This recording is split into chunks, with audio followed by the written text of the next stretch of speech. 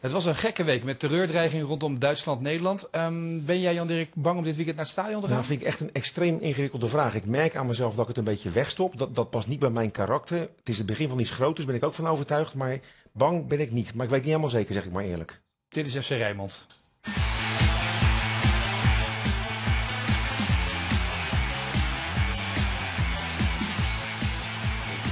Goedenavond, het is vrijdagavond, tijd voor FC Rijnmond. Dus altijd op de vrijdagavond blikken we vooruit op dat wat komen gaat deze komende speelronde in de Eredivisie en Jupiler League. Dat doen we met onze eigen Jan-Dirk Stouten en naast hem aangeschoven ook vaste analist Cor Pot. Cor, jij bent wereldburger, jij bent overal geweest. Ben jij bang na alles wat er deze week gebeurd is?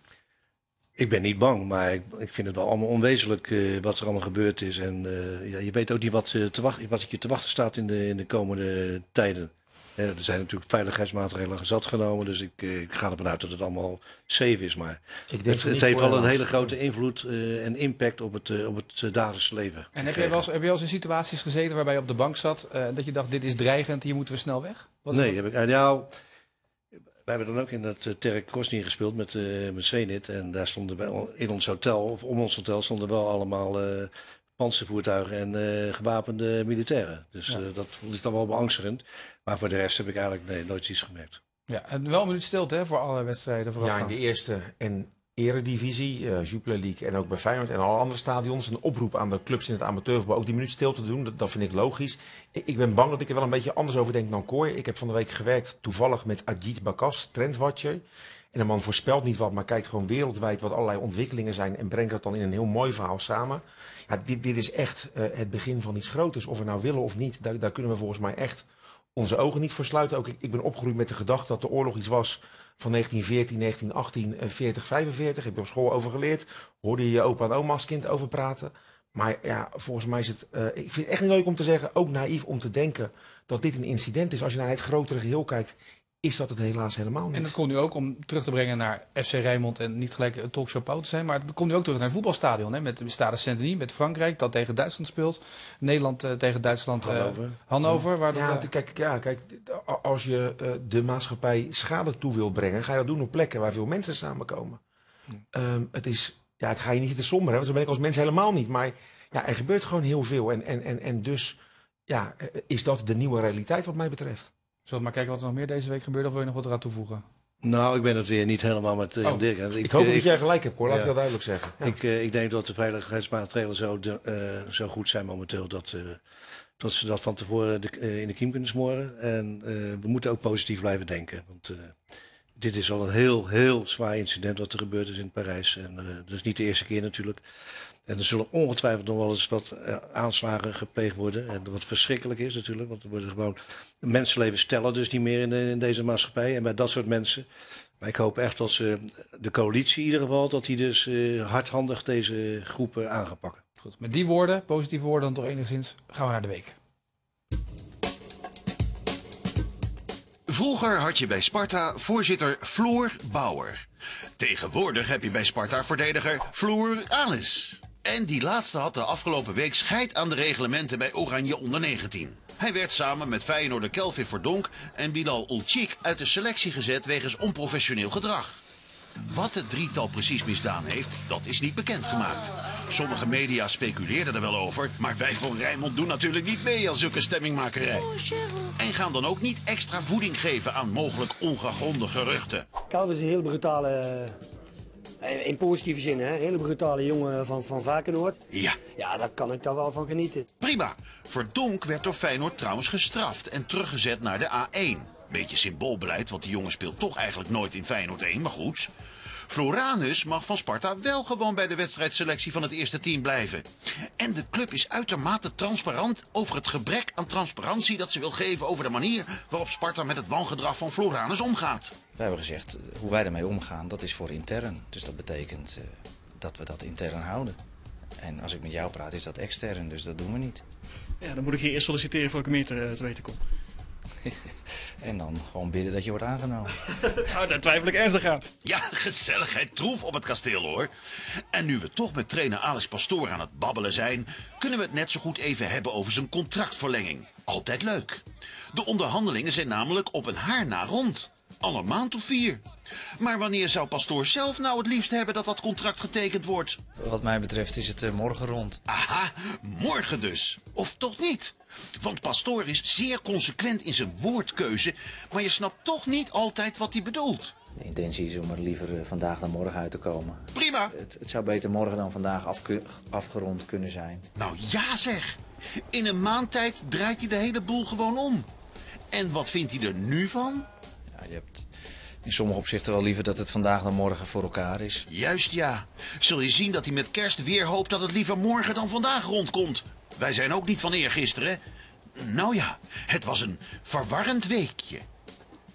Ja, dat contract is nog steeds niet rond, hè? Liever vandaag dan morgen of morgen dan Ja, als vandaag. hij de boel vanavond bij Fortuna maar op de rails heeft, hè, Pastoor. Ja. Dat is eh, nog het belangrijkste, denk ik, op dit moment. Maar waar hangt het nou nog om? Nee, het gaat om een paar. eh, Dat eh, hebben ze bij Sparta tegen ons gezegd. Het gaat om de arbeidsvoorwaarden nog zijn. En uitwas gaat om het beleid. De, de, de, de, de, macht die Pastoor toch krijgt op, het, eh, op het kasteel. Met Verbeek. goede zaken overigens als klankbord vanuit die RVC. Waar ik nog steeds vind dat het te veel van zijn. Maar goed, hebben we hier vaak genoeg besproken. Cor heeft er vast een mening over. En wat, wat ik met name bespeur bij heel veel Spartanen. Als je nu Pastoor, vind ik echt een hele goede trainer. Hij heeft, heeft op tal van plekken goede dingen gedaan. Als je die hebt, als je Verbeek hebt, als je, als je een persoonlijkheid, een grote persoonlijkheid, als Westerhof, al- als captain hebt, als, als voorzitter van die RVC. Ja, als het nu niet lukt, Cor, Het bestuur, hè? Is Och, het, eh, het is ik- het bestuur, ik vind het ook geen, een- eh, voorzitter van de Raad van Bestuur. Ja. heb- ja, precies, een bestuur. bestuur. Ik heb ook een hele hoge pet op van Westhof, moet ik eerlijk zeggen. En, eh, ja, Als de man niet over de Jupiler League had, hè? Maar laten we nou Ja, even- maar Westhoff is gewoon Ja, een hele goede eh, voorzitter. Echt een hele goede voorzitter Sparta. Brengt rust in de tent. Eh, de aanstelling van Pim, daar ben ik heel erg blij mee. Omdat ja, Pim en A is het al een hele goede, een van mijn beste vrienden. En B vind ik het fantastisch tot hij als een echte Spartaan. eh, met zijn hele familie, ja, zijn vader, zijn broer.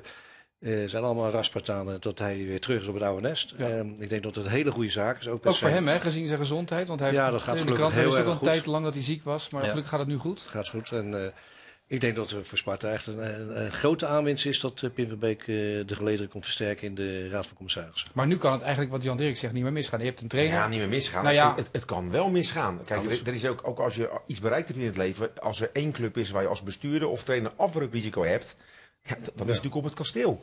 Want, want met nakken bij, bij Dijkhuizen, let maar op, die gaat gewoon boven komen drijven daar in Breda. Dijkhuizen een uitstekende trainer. Ja. Ja, het, wordt, het, wordt, het wordt gewoon toch weer moeilijk. Nou ja, en eh Go Ahead is natuurlijk ook een ploeg die-. Kijk, kijk, Sparta kan ook meedraaien. Alleen ze hebben het nog niet laten zien tegen de absolute topploegen van de eerste divisie. En, en eh, de beker tegen NEC. Ja. En ook tegen Excelsior worden ze met 4-1 4-0 weggevaagd. Dus dat zijn wel grote uitslagen. Dat, dat baart me wel een beetje zorgen. Ja, maar goed, in ieder geval aan de bovenkant van bestuur zou je nu zeggen, weet je, met dit soort mensen, dan dit, als het een keer helemaal goed geregeld is, dan zou het nu moeten zijn. Dit is een hele goede basis. ja, dit op wat ze nu papier hebben. is, is het nu goed. De, Ja. de vraag is hoe het echt in de praktijk gaat. Want, want ook die wereld verandert steeds als het gaat om een sponsoring in het voetbal. Als het gaat om een netwerk opbouwen, een nieuwe manier van met klanten omgaan. Daar vind ik Excelsior heel veel verder in dan Sparta, zeg ik er ook maar gelijk bij. Dat doet Wouter Gudde met name hele goede zaken. Maar de, maar de vraag is of deze mensen ook die slag kunnen maken met elkaar. Ja, en, en als je dan kijkt naar de rol van Pim Verbeek, jij, jij bent ook in dat bestuur, heb jij gezeten. Wat is dan zijn rol? Want kijk, hij is natuurlijk bestuurslid technische zaken. Nou, ik lees ook wel een beetje tussen de regels door dat hij zometeen zich wat meer met het echt beleid gaat bemoeien. Weet je wel, dat, Dat, eh, dat hoop ik wel, ja. Want eh, ik vind niet dat je dat, eh, met alle respect voor Alex Pastoor, wat ik overigens een uitstekende trainer vind. Maar ik vind niet goed als hij dus alles voor het zeggen zou hebben. Ik vind dat je moet wel een, een, een klankbord hebben. Iemand die ook tegengas geeft. Nou, ik, ben, ik ken Pim wel vrij redelijk. En eh, Pim geeft wel tegengas als het nodig is. Ja, Ja, En, en, heeft eh, in dat kader Pim Verbeek dan ook genoeg, een groot genoeg netwerk in Nederland om te zien wat Sparta nodig heeft om naar de Eredivisie te gaan? Er is natuurlijk veel weg geweest, veel in het buitenland gezeten. Pim heeft, eh, is, natuurlijk heeft hij een groot netwerk. En anders heeft hij, zijn vrienden hebben dat nog wel voor hem. Oké, oh, jij, kan, eh, jij helpt er wel even als het nodig Als is. het nodig is, altijd, natuurlijk. Eh, Cor, even wat anders bespreken. We zagen het in de week ook. Floranus, Verdonk, eh, geschorst, weggestuurd door, door de KNVB. Omdat er dames op de hotelkamer waren. Nou, jou, wil, wil van jou weten wat jij daarvan vond. Kan dat of niet? Ik heb dat ook wel eens hotelkamer. Ja? Als speler zelf, Oh. en, natuurlijk. We moeten het niet zwaarder maken dan het is. Op die leeftijd gebeurt dat wel eens. En ik vind dat het een beetje overspannen reactie is geworden bij Feyenoord. Eh, het moet ook weer allemaal publicitair moet het dan weer eh, uitgemeten worden. Ik vind dat het heel verstandig is wat Alex heeft gezegd. Wij, in, wij lossen dat intern op. En ieder, iedere speler, wij gingen ook wel eens eh s'avonds eh, via, Nee, de regen, nee, jij toch niet? via de regenpijp. Nou, jij ik- ging een goed boek lezen volgens de overlevering. nou, ik ben ook wel eens meegegaan. Heel Maar, af en toe. Maar Dat hoort erbij. Ja. Dat hoort bij de ontwikkeling van die spelers. En eh, dat vind ik eh, vind het een beetje overtrokken. Maar de andere kant is, ik weet nog dat jij bondscoach was eh, bij Jong Oranje. En dat je ook ineens de kapper binnenkreeg. En daar was je ook ontstemd over. Ja, maar dat is wat anders. Oh, dames op de kamer mag wel, maar de kapper op de kamer niet. Nou ja, wij, zitten, wij zaten echt op de laatste dag. En dan, als ze mij vragen, van, er, komt, er komt een kapper, dan vind ik het geen probleem. Kijk, als ze zeggen van eh, dames, nee, dan zeg ik nee. Maar als ze een, ka- een kapper hadden gevraagd, eventjes, omdat ze dan zich beter voelen, dan, mag, dan mag, die, eh, die, mag die kapper best eventjes een half uurtje knippen. Bij, eh, hij had er drie jaar op zijn hoofd, die prima. Dus Ja. Maar, maar ik vond de reactie van Jan van Halsen wel het mooiste op Twitter. Hebben we eindelijk echte kerels in dat voetbal? Gaan we lopen zeiken met elkaar? Ja, ik vind dat je, ook- ik vind dat hebben we een beetje nodig om te er ver. te komen. ja, we moeten ook niet, willen juist een beetje kerels van maken. Nou, misschien was het... eh, Was dat wel gebeurd? En eh, Misschien waren ze nog knaapje. Hebben ze dat, eh, zijn ze daar ook vanaf nu? Hoor, je slaat door. Je slaat door, Cor. Dat is jammer. Dat is jammer. ja, Eh, want echte kerels hebben we ook nodig in Jong Oranje, toch? Ja, we zijn een beetje boos over de afmeldingen bij Jong Oranje. Nou, dat irriteert mij mateloos. Ik heb in de column, in de column van Willem van Hanegem gelezen in het AD. Eh, die had daar ook bezwaar tegen. En ik vind het ook, eh, ja, ik heb het zelf natuurlijk meegemaakt, eh, minder dan nu. Want ik vind dat echt buiten alle proporties dat spelers bij het minste rings, als ze een, een pijntje hebben of een, of een, beetje verkouden zijn, dan haken ze al af. En ik blijf erbij, als Van Beek en Kasso waren gebleven, hadden ze nooit met 4-2 verloren van, eh van weet het, eh, Slowakije. Ja, maar dan gaat Clubbelang kennelijk voor toch boven Jong Oranje Ja, maar ze willen toch allemaal ze willen internationale ervaring. Feyenoord zit niet eens in de, in de UEFA Cup of waar dan ook. Eh, die spelers die, hebben er alleen maar baat bij. Ze komen er sterker door terug. Kijk, geblesseerd kan je altijd raken, maar kan je ook op de training met Feyenoord raken. Dus ik vind het, eh, ik vind het echt een, eh, een flauwe reactie van de spelers met name. En ik weet niet hoe ver de club erachter staat. Ja, maar ik vind het gewoon een slechte, duidelijk. Ik- ik- ik ik vind gewoon een hele eh, slechte zaak. dat de club druk uitoefent. Kijk, ik, ik was er bij die laatste wedstrijd toen Casper van Dijk naar me toe kwam en dit zei. Dan denk je, misschien naïef in het begin nog even, die zijn geblesseerd. Maar als je deze week wel volop meetraint, Ja, dan kan het echt niet. Als je echt als speler je door wil ontwikkelen, dat is ook het pijnpunt bij Feyenoord. Hè. Ik, ik blijf het nog maar een keertje zeggen. Je kunt in de Kuip punten verspelen tegen Ajax, maar de week ervoor tegen ADO is veel erger. Dan moet je elke wedstrijd pijn kunnen leiden, elke wedstrijd tot het uiterste kunnen gaan. Moet je jezelf eh, eh, pijn kunnen doen en beter kunnen worden. Zou het kunnen zijn dat je daardoor dan ook niet wordt opgeroepen voor het Nederlands elftal? Wij zeggen hier vaak genoeg, hoe kan het dat jongens van Ajax worden opgeroepen en die van Feyenoord niet? Terwijl Van Beek misschien wel net zo goed speelt als sommige verdedigers van Ajax. Ja, Dat maar dat, bij Ajax, meeweegt? bij Ajax zijn ze ook afgehaakt. eh eh, Klaas, eh eh, Riederwald, eh, zo kan ik er nog wel een paar noemen. Die, die zijn ook afgehaakt op een gegeven moment. En hoe ver die eh blessure serieus, weet ik niet. Maar als, eh, als ik dan lees dat ze twee dagen of drie dagen later gewoon weer voluit trainen, dan, dan klopt er iets niet. Goed, we zijn bij Feyenoord aanbeland. Eh, Feyenoord dat gaat spelen dit weekend tegen Twente. Ja. En eh, ja, voorin toch wel een uitdaging heeft nog Ja. op dat middenveld. Hè? Hoe gaat dat eruit zien? Ja, kijk, Elia anderhalve week niet. Dus die zou er de volgende wedstrijd morgen over een week op Woudenstein de derby wel weer bij kunnen zijn. Nu tegen Twente niet. Ja, dan kun je filosoferen. Ga je met Filena als vierde middenveld met Gustafsson ook spelen. Maar ik denk dat hij met de man die net is uitgerold gaat spelen. Bilal uh, Basasikoglu. Die is vorige week vrijdag al uitgerold. Die is- hè? Die is eh, nu, voor eh, na twee weken is uitgerold. Ja, precies. Maar jij denkt dan uh, Basasikoglu, Bilal eh, links voorin, Kuit rechts voorin, Ja, Kramer. Kramer in de spits. Ja, er zijn Ja? redenen om het anders te doen. Maar ik, ja, ik kan me niet voorstellen dat je Kramer er nu alweer uithaalt. Dan ga je wel erg veel wisselen op die positie. Wat denk jij? Hoe moet hij dit oplossen? Ja, ik zou het heel anders doen, maar goed. eh, Ja, jij hebt ervoor ook. doorgelicht hoor. Het Ja. Ik zou met eh Kazim en met eh, Kramer samen in de spits spelen. En ik zou met Kuit erachter. En met een, eh, dus echt een ruit spelen met eh, links eh Vilena, rechts eh El Amadi en in de punten achter Vahinovic. Je hebt twee enorme aanvallende backs, Karsdorp en, eh en Congelo, die, die ook een voorzet kunnen geven. Dus die kunnen dat, over, die kunnen dat overbruggen die, eh, en die kunnen die voorzetten geven aan die twee spitsen. Ja, ik denk dat het een uitstekend... Maar Kramer eh, in Kuit, K2 voorin, een nieuwe K2 waarom voorin? niet? Ja, waarom niet? En wat is dat? Want er Dat zijn ook heel veel... maar de- Dat zal niet gebeuren, maar ik, ik zie het wel zitten. Jongens. Wat zie je omdat daar je steeds met. Als je nou ons- een keer een kans. Nou, die moet je op de bank zetten. Als Ja, er een van de twee een faalt, dan kan je hem, dan kan je hem, dus, eh, kan je hem erbij zetten. Maar Maar als ja, even de ik, twee ik, ik faalt, mag wanneer... over wanneer, Kazim wanneer zeggen van sommige mensen, maar houd toch op joh. Nou ja, je hebt gewoon vorige week van Bronkhorst gehoord. Kazim brengt iets met kracht in een wedstrijd. Nee. Hè? Eh, maar, Kramer kan een goal maken. maar, maar wat, ze, ze scoren niet. Je kan ook gewoon proberen eh, dan gewoon Asjebar erin te zetten, toch? Ja. Ik, ik, Eh, Kijk, als wij het nu al een tijdje niet gespeeld.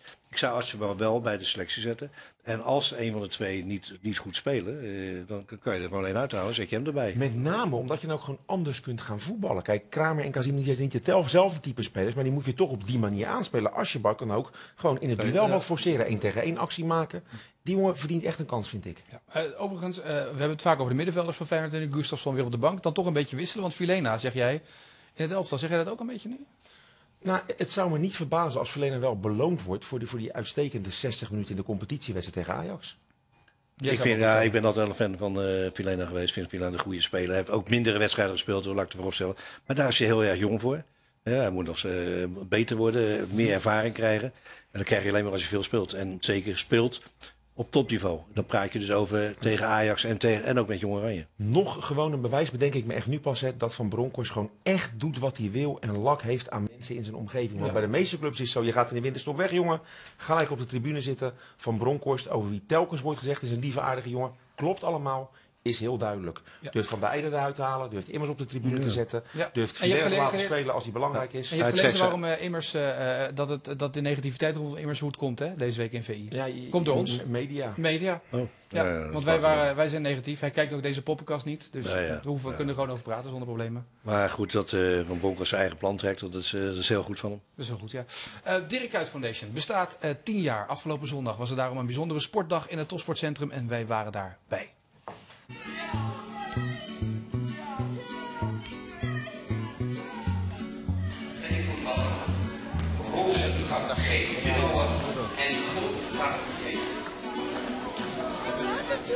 naar voetbal. Nee, Niels. Hij komt zo naar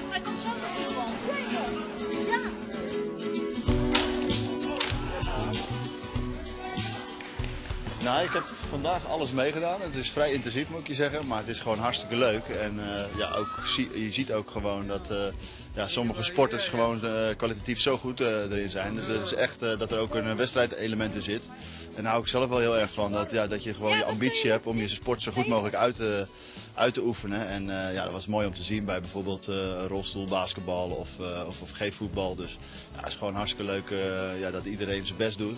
En het mooie van vandaag is natuurlijk ook dat je de sporten bij elkaar samenbrengt. Dus iemand die rolstoelhockey doet, komt nu ook in contact met andere sporten. En merkt dat dat ook hartstikke leuk is om te doen. Want in principe ja, is, is er dan ook een mogelijkheid om meerdere sporten te doen. En dat is, dat is het leuke van vandaag.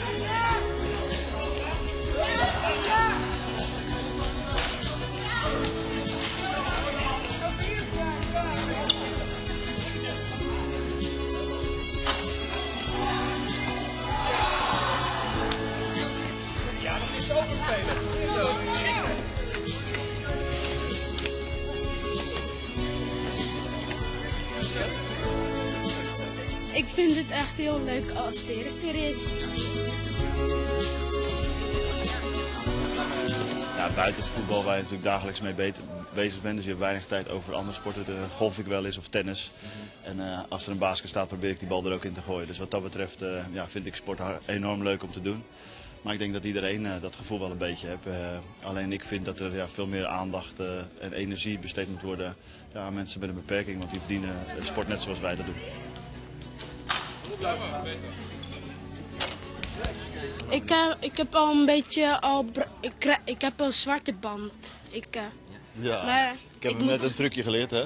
Hij gaat zo even de ipon eh, doen hè. ja, Komt helemaal dat goed. ga ik nog eventjes leren. Ja. En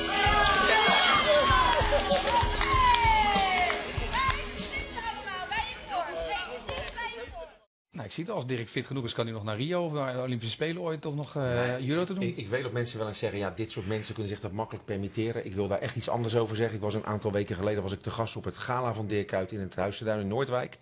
En dan haalt hij in zijn eentje 3,5 ton op voor deze kinderen. Kun je nog steeds zeggen, dat hoort een beetje bij Nederland, ja, dat kan niet makkelijk. Nee, hij gaat al die tafels af, geeft iedereen een hand, gaat met iedereen op de foto. Ik denk, als je dit soort mensen wel eens bekijkt, wat voor belasting dat ook voor ze is, doet hij allemaal met een glimlach. Maak ik een diepe buiging voor. En nog een jaartje bijtekenen ook, hè? waarschijnlijk bij Feyenoord. Dat Gaat het uitkomen, toch? Hij doet het mogelijk, fantastisch. toch? Hij doet het fantastisch. Is, hij, hij, een voorbeeld, hij is een voorbeeld voor de jeugd. Ja. Eh, over Feyenoord gesproken nog een paar dingen even doornemen. Varkenoord, je noemt het. Eh, stadion van Feyenoord, het nieuwe stadion, of tenminste de plannen. Voor de zomer van 2016. Daar gaan we weer, hè?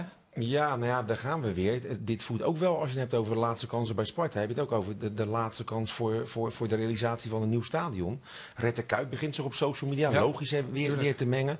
Wat ik goed vind aan de huidige ontwikkeling is dat het niet alleen meer gaat over het stadion, maar over de herontwikkeling. Een beetje modekreten van dat hele gebied, maar dan lijkt het wel meer kans te maken. Ik ben heel, heel, heel benieuwd of de persoonlijkheden in en rond de Kuip nu sterk genoeg zijn om dit doorheen te krijgen. En als ik het zeg, dan hoor je daar misschien de twijfel al een beetje. Ja. En eh, deze week Hugo Borst die had het over de transferperiode eh, in de winter. Misschien Ziyech halen bij Twente. Hè? Deze week ook tegenstander van Feyenoord. Was een spannende gedachte, toch? Op dat middenveld. ja, als eh, spelers weggaan bij Feyenoord dan... eh, Nou ja, als Immers vertrekt naar ADO bijvoorbeeld, Ja, hebt wel en, ruimte. en Vilena.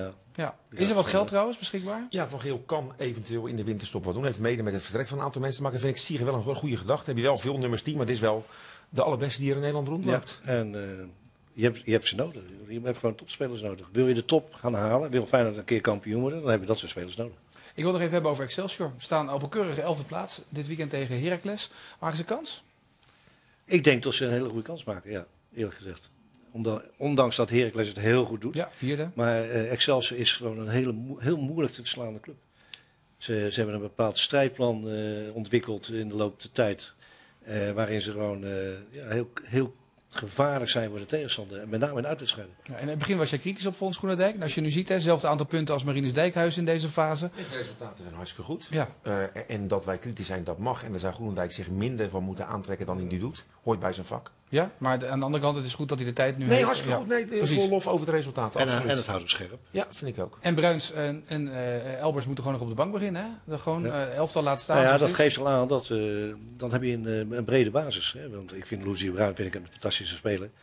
En eh, die komt er ook wel weer in, maar eh, even geduld.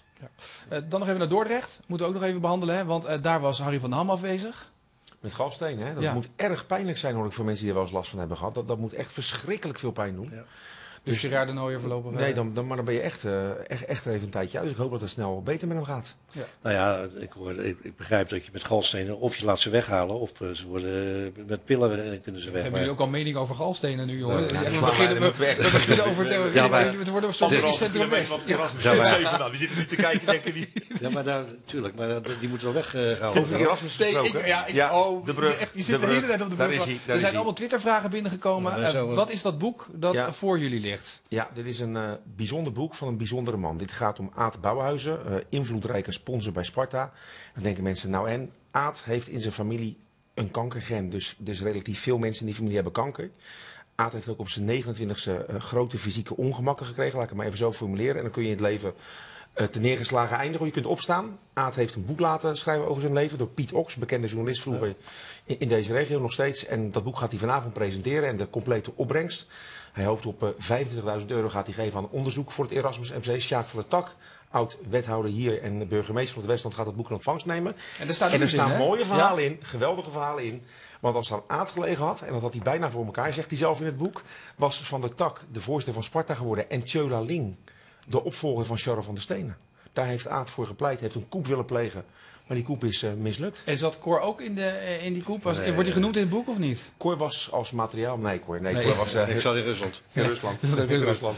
Maar dat boek kunnen we weggeven ook, hè? Dit boek mogen we weggeven. Mail Sport sport. Gewoon- Gewoon een mooi persoonlijk verhaal van, van een mooi mens, vind ik. Ja, als je het wil hebben, sport.rijmond.nl. En er staat dus een mooi eh, Sparta-hoofdstuk in. Ja. Tot slot van deze uitzending wil ik nog even terug naar onlangs in Voetbal International. Een interview met Fred Rutte.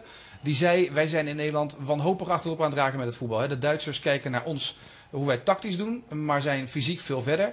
Deze week Foppe de Haan in datzelfde blad. Die zegt, jongens, weet je, wij kunnen bij de KNVB prachtig allerlei problemen signaleren. Maar oplossen kunnen we niet, want we hebben totaal geen verstand van fysiologie. Cor, eh, ben je het daar mee eens? Lopen we zo ver achter? Moeten we ons zorgen maken? Nou, ik denk dat je niet naar de KNVB moet kijken alleen. Je moet kijken naar het totaal, naar de clubs, eh, naar, de, naar de trainers. Eh, we hebben natuurlijk een heleboel dingen vergeten. We zijn alleen maar op, eh, op basis van techniek en tactiek zijn we gaan spelen. We zijn het fysieke zijn we vergeten en mentale ook. Nou, die twee elementen die, eh, die moeten gewoon extra... Maar waar zijn we dat vergeten? Jij hebt bij de bond gewerkt. Jij bent bondscoach geweest van Ja, Jong nou ja, Oranje. goed, ik heb het niet vergeten, maar, eh, Nee, maar- ik vind Maar in ik zou totaliteit... graag aansprakelijk willen stellen voor de teleurgang van het Nederlandse voetbal. Hebben we het ook maar gelijk geregeld. Nee, maar we, laten we eerlijk wezen. Technisch en tactisch zijn wij net zo ver als, als Duitsland en Engel, nou, We Engeland. zijn is- ingehaald eigenlijk door de Duitsers. Ja, Duitsers zijn slim geweest. Die hebben natuurlijk toen het niet goed ging met Duitsland, die hebben ook die periode gehad die wij nu hebben. En dat hebben ze in Frankrijk ook gehad en dat hebben ze in Engeland nog steeds hoor, want die hebben alleen maar buitenlanders Maar, maar het is ook naïef om te denken dat het zomaar goed komt. Hoor. Het komt niet zomaar goed. Maar ik denk dat het wel goed komt, alleen het gaat wat tijd kosten. De spelers moeten beseffen dat het een beroep is geworden. En dat ze veel meer moeten investeren in zichzelf. In, in, in het fysieke, in het mentale ook. Ja, en als ze dat kunnen opbrengen, dan, dan zijn wij niks minder dan Duitsland of Frankrijk of Engeland of Spanje. Echt niet. Maar Want betekent wij- dat ook harder trainen zoals Fred veel harder zei? trainen. Twee keer per dag trainen? veel harder trainen. Wat niet kon bij Feyenoord? Ja. Ik, eh, ja, dat, eh, volgens de periodisering mag het dan waarschijnlijk niet. Maar ik vind, daar moet je nou eens even lak aan hebben. We moeten een stap eh, voorwaarts maken. En we maken nu alleen maar stappen naar, ach- naar achteren. Omdat we bang zijn dat we geblesseerd raken. Nee, je moet gewoon mentaal sterker worden. En dan raak je ook minder geblesseerd. Maar daar hebben we een congres gehad. Daar is lang over. Ik zie Jan Dirk een beetje twijfelen Ja, antwoord. lak hebben aan periodiseren vind ik eh, een uitspraak die in de jaren 60 zou passen, maar niet meer in Nee, 2015. Ik, ik bedoel niet, een periodisering is goed. Maar om dan te zeggen van, anders, als we dat niet doen volgens die periodisering, dan raken ze te sneller geblesseerd. Je kan periodisering ook aanpakken en op een, op een hoger niveau brengen. Ja, maar voor mij hebben we met Vijgen een van de beste van de wereld in huis Ja. als om dat uh, Is gebied dat zo? gaat. Ja, een hoor fan, hè? wel. Ik ben geen fan van Ik hem. heb maar- het boek gelezen van hem. Ik, ik heb het boek gelezen. Toen was ik wel onder de indruk, moet ik zeggen. Ja, ik, natuurlijk. Hij schrijft goed, hij praat goed. Eh, Maar grote landen, Argentinië, ik ga het allemaal Australië, Ja, maar hebben hoe- allemaal ingehuurd. Hè? ja, Ja, maar wij zijn die wereldkampioen geworden. Nee, maar jullie denken dat, dat, jullie Nee. dat Vijgen een wandelende PR-machine Nee, maar kijk, kijk wat er gebeurt Nou, in Duitsland. Hij doet dat heel goed. Kijk Dat- wat er in Duitsland gebeurt. Kijk, kijk hoe Joachim Leu daar een ploeg heeft geformeerd die tactisch heel goed voetbalt en fysiek ook heel sterk is. Dat, dat, dat kunnen de Duitsers toch als geen ander. Die zijn als. dat Hebben ze, in Zweden hebben ze daar een periodisering van. Wij hebben ze dat in, eh, in Engeland, hebben ze dat in eh, Spanje, hebben ze dat in Duitsland. Barcelona werkt volgens Nee, mij. dus ik zeg niet dat dat het wonder is. Er moet natuurlijk wel veel meer gebeuren. Want wij, wij hebben, nou, als je het hebt over balbezit, hebben we natuurlijk heilig verklaard. We zijn blij als we 40 keer die bal achterin rondspelen. Ik las van de week een statistiek dat Ajax, Ja. eh, dat, dat geloof ik 60% van de wedstrijd doet. De bal Ja, op de ja, eigen ik heb het- en ik in de het een kuip stukje gezien ook. eh, was van Beek en van de Heide. Dat, ja, dat is verschrikkelijk om te zien. Ja, dat vind ik ook. Kijk, ik wil niet zeggen. Kijk, hij is wel goed hoor. Hij is wel een trendsetter in, het Nederlandse, in, de, in de ontwikkeling van die periodisering. Hij is een trendsetter. Maar hij moet ook door. En het is een, echt een hele intelligente jongen. Die moet alleen leren eh, om dat op een hoger niveau te gaan brengen. Om, om, om ze dieper te laten gaan, de spelers. En Maar de die, gaan die- niet, die gaan niet diep genoeg. Nou, hij is daar ook een, hij is ook een voorloper erin. Ja, eh, maar wie dat moet, dit nu, wie moet het nu oppakken? Want we hebben dat congres gehad bij de KNVB. Ben je ook geweest waarschijnlijk. Hè? Ja. Daar heeft het daarna heel veel opgeleverd. We hebben veel over gehoord na het congres. Ook dat jullie al die bijeenkomsten door het hele land... Symboolpolitiek, Etienne, Ja, symboolpolitiek. maar goed, wie pakt dit nu op? Nou, ik, heb begrepen, wat ik, heb nu begrepen dat. eh, nee, dat, dat heeft de directeur niks mee te maken met Oostveen. Dit is eh, Jelle Goes. Ja. Jelle Goes die, eh, die heeft elf speerpunten. Heeft hij. Daar gaat hij dus mensen uitnodigen. Hij heeft dus nu al Henk de Kater geloof ik gevraagd voor een, eh, één speerpunt. Alleen, het wordt tijd dat hij eens een keer naar buiten treedt met wat de plannen zijn. Want Maar daar Cor, gaat het tenslotte om. Het zijn toch altijd, je kan dingen in de theorie bedenken, maar altijd mensen die het verschil maken. Je kan een plan hebben. Je moet mensen hebben die voorop gaan lopen en dat plan kunnen Ja, maar je moet- die moeten wel- En die mensen zie ik gewoon niet bij de KNVB. Nee, maar je moet, die moet je inhuren. Mooi. Dus ik wil nog twee korte, dingen, twee korte reacties voor jullie hebben. Fred Rutte, bondscoach van Denemarken. Is dat Kandidaat? een- Nee, kandidaat. Dat is een vraagteken. Is dat, is dat een optie? Vinden het- Oh, ik zie direct compleet zijn bek Nee, nee, ja, ik, ga, ik, ik, ik ga zeggen dat, dat ik een, een moeilijk jaar heb gehad met Rutte. Moeilijke gesprekken, soms boos, soms lief, soms aardig. Ik, ik ken dit gerucht niet. Het lijkt mij sterk, maar je weet het nooit. Goed, en eh Wilkshire naar Terry Grosny, hè? Maar ik, ik wil wel zeggen eh, over Rutte. Ik denk dat Rutte een hele kundige trainer is, een goede trainer Ja. is. En waarom zou hij niet eh, naar Denemarken kunnen gaan? Goed, ik vind- van mij betreft zou het een goede keuze zijn. En heel goed voor de Nederlandse En Wilkshire naar Grosny. Ja. Die gaat lekker vooruit voetballen. Ik denk het ook. Ehm, dit was FC Rijnmond voor vandaag. We zijn de komende zondag natuurlijk weer. Dank aan de gasten, dank aan Jan Oh. Dirk en dank aan Cor. Komende zondag Marinus Dijkhuizen in de uitzending. Al het voetbal vanavond eh, in de Jupiler League. En komende zondag te volgen natuurlijk op Radio Rijnmond. En speciaal voor Stefan van de BSO van Leonidas. Je was een fantastisch publiek. Graag tot zondag. Het was gewoon eh, een mooi, leuk moment. Ik heb het gewoon eh, goed beleefd. En dan dadelijk gewoon met de vrienden. Dat, eh, gewoon bij elkaar. Dadelijk krijgen we andere cadeautjes. Nee, nee, ik vraag niet veel. Ik ben gewoon blij met wat ik krijg.